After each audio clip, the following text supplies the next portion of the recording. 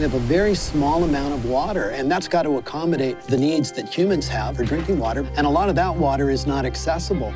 We are committing hydrocide. We are deliberately murdering our rivers. Our rivers across the world were being deeply impacted by the dumping of poisonous toxic material.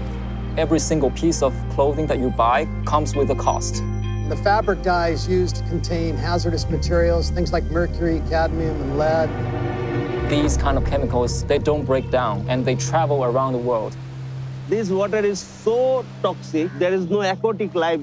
If you see how people are living there, they have lost their sensory adaptation. They can't smell anymore.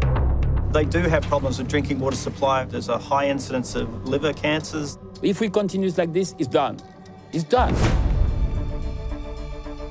Maybe it's because the demand of the world has gone crazy. The statistics are insane. Something like 80 billion garments of clothes are being delivered out of factories. Those products are actually sold to the world's biggest brand names.